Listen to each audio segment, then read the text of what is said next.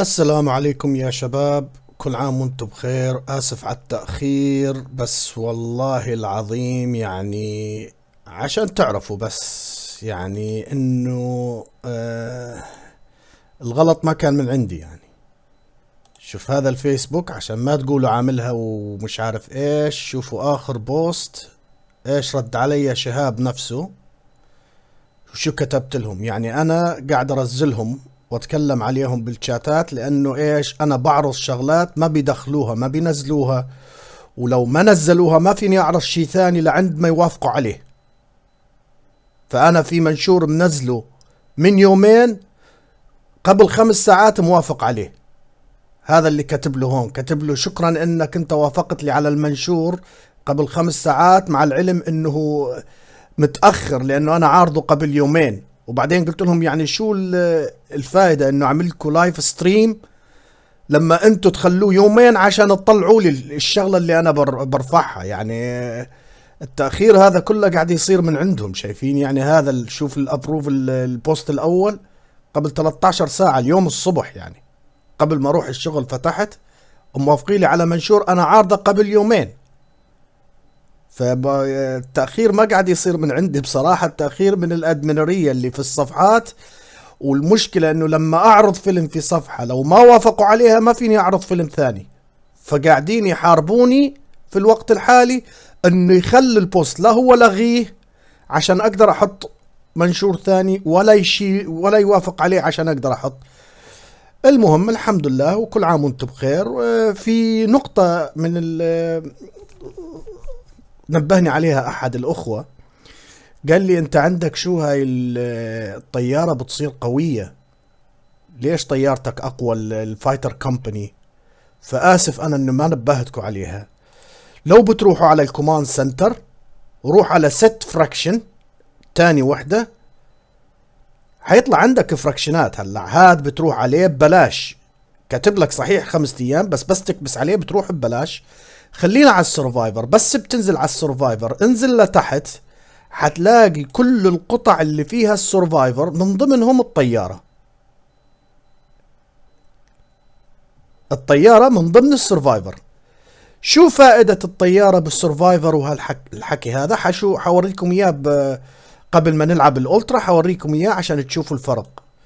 يعني مثلا لو ضربت آه، خلينا نشوف لنا شغلة هيك بسيطة نضربها. موارد.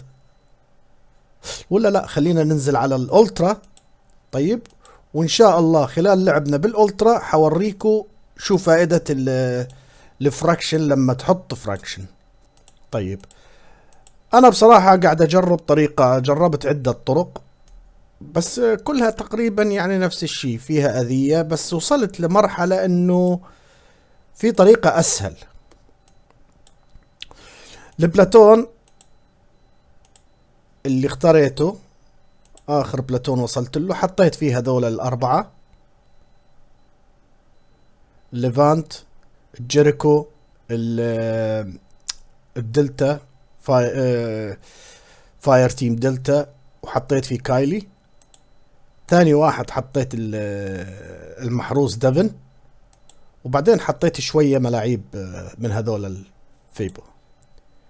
هلأ بس تهجم أنا ما حاهجم بيهم بالطريقة العاد المعتادة إنه تهجم وتضرب ومش عارف إيش. طريقة جديدة قلت خليني أجرب لأن أنا امبارح انتبهت لها قبل ما أروح آه، أنام. انتبهت لها. اللي حأعمله إيش؟ حنزل يا معلم عشان إيش؟ عشان زي ما إحنا عارفين إنه كله بيجي على دفن بيحبوه لدفن فقربوا شوية لقدام. ودي سيلكت ونزل هذول حطهم قدامه عشان إيش؟ يحموه. لو اجى حد حيروح على الدفن بس إيش؟ قبل ما يوصل يستلموه شايفين؟ يستلموه هذول يقتلوا. طيب. تعال. وأنا مشغل الشوك يعني في الشوك في شغلات كثير آه، يمسكها. قربهم شوية لقدام. ووقفهم بدي خلاص خليهم هناك. ما عندي فيهم شيء. اللي حفوت فيه يعني انت تقدر في شغلات كثيرة تفوت. ليش المدافع ما شغالة؟ آه الصواريخ. يعني فيك مثلا الصواريخ هذه مشكلة. ليك؟ إذا تضربها بصاروخ المافريك حيشيلها. فتيك تستخدم طريقة ثانية. أنا دائما أحب أنه الواحد حسب قواته. أنا حنزل اثنين. يلا حلينا ننزل اثنين من هذول.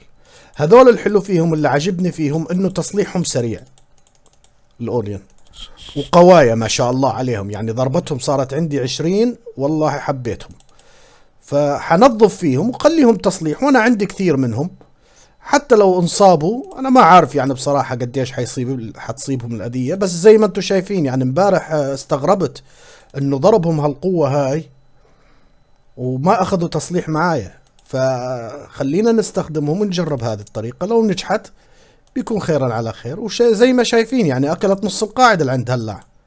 هاي أول مرة عم بصراحة يعني قاعد أجرب هذه غلطة مني. شوف المفروض اقتل فورست طبعا هذاك كان فورست شفتوه؟ نزل دبابة آه نزل جنود. طيب. في عنا ورا في عنا يعني كذا hero هي في القاعدة بدكم تنتبهوا. في عنا مثلا ورا في عندنا هاياه ال mech. level عشرة. يعني ضربته جامدة. وفي عندنا الدف الدفن هناك وفي عندنا كان قبل شوية الفورست فما شاء الله يعني معبيها. هلا أنا إيش قاعد أكتل بهاللي موجود الصف هذا اللي قدام وزي ما شايفين يعني كلها ضربة ضربة بسيطة لعند هلا. القاعدة فضيت شبه فضيت يعني. هذا النص الأول فضى.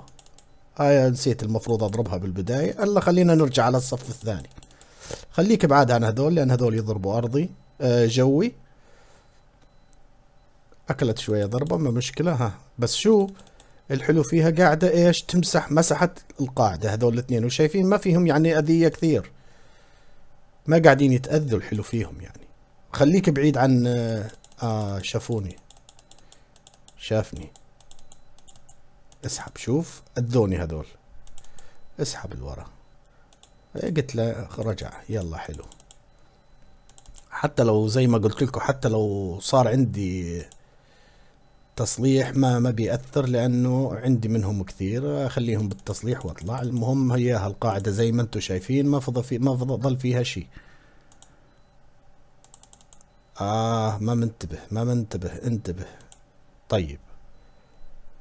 هلأ لعند هون بديش أكمل خلص طلعهم هذول تأذوا شوية. يلا طلعهم. هلأ شوف.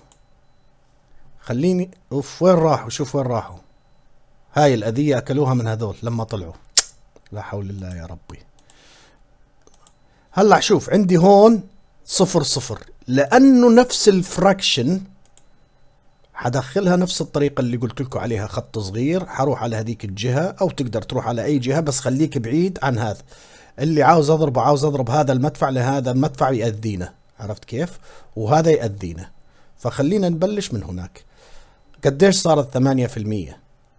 صار عندها بوس 12% 19% لأنه نفس الفراكشن كل ما تنزل وتضرب أكثر كل ما تأخذ قوة أكثر يعطوها بونص أكثر وشايفين ما شاء الله عليها ما فيها أول, أول هجمة ما فيها أي ضرر لعند هلا. يعني أنا الغلطة لعند هلا اللي غلطتها إنه الطريقة عجبتني لأنه لما طلعت الطيارات هذول ضربوهم. ولا يمكن كان عندي عشر دقائق تصليح أو خمس دقائق تصليح. الواحد يتعلم من أخطائه. هلا بدي فوت شوي عندك هذا بيضرب جوي وهذا بيضرب جوي. هذول انتبهوا منهم كمان وفي عندك هون وفي عندك المصيبة الكبرى هذا. هذا level عشرة. يعني ضربته جامدة جامدة إن شاء الله فلشناه لا والله لسه لسه موجود. ارجع مرة ثانية. ما ما خسرانين شيء خليك بعيد عنا وأضرب هذول.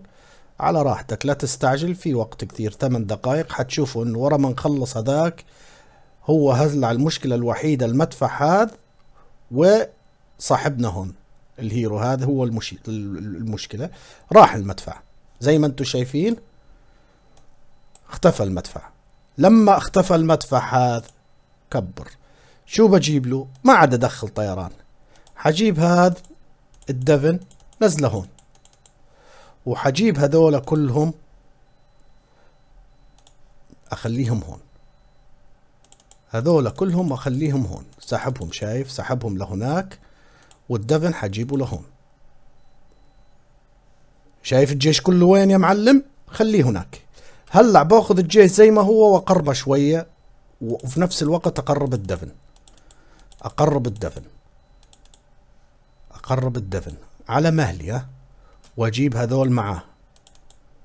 أقرب الدفن. امبارح أنا انتبهت له إنه إيش؟ حيدوخ فيه صاحبنا. اسحب يا معلم. انتهى موضوعه. ليك؟ راح. راح صاحبنا. هلع شو يا معلم؟ كل سنة وأنت طيب. ما عاد شي في القاعدة بيضربك. المفروض ما في شي في القاعدة. خليه روبي أون. وكل سنة وأنت طيب. عيدية من كيكسي. شايفين يا شباب؟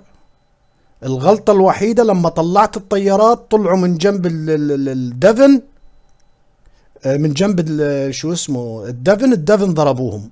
وإلا خلينا نشوف ال platoon.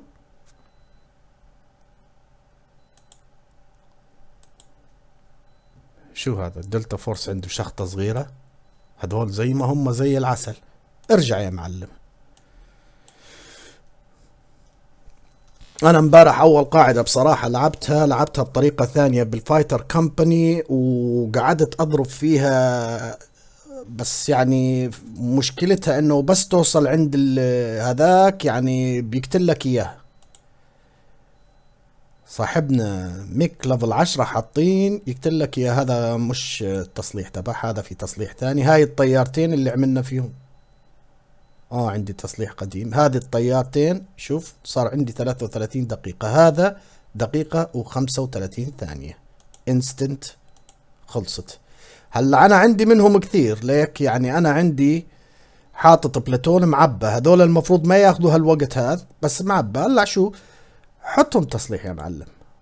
ال fighter company بعتقد مضروب آه ال fighter company عندي مضروبة. خليها تتصلح بعدين ما مستعجل عليها. هاي وحدة.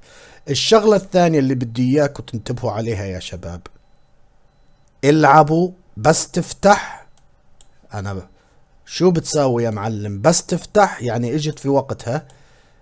بس تفتح الأوميجا.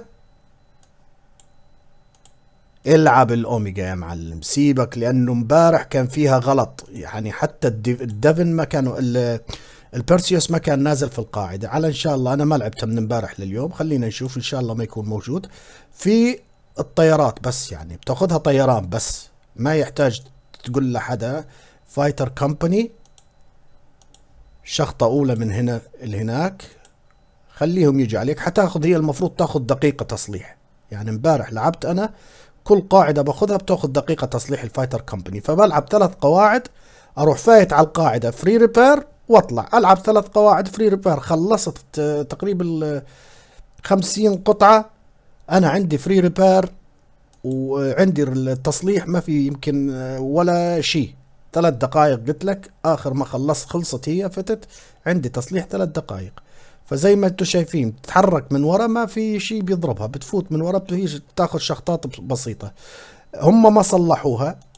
ال Perseus امبارح حسب ما أنا سبتها امبارح ما كان في Perseus. شايفين؟ فوت بالنص. هلا بس شو مش زي طريقة الأول كنا بنفوت بالنص بننزل ما في Perseus. فصايرة بسيطة كتير.